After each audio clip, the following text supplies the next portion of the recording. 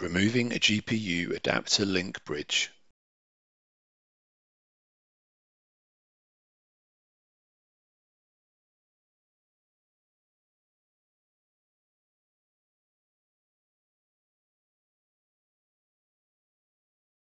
Press the suction cup against the GPU adapter link bridge until it adheres.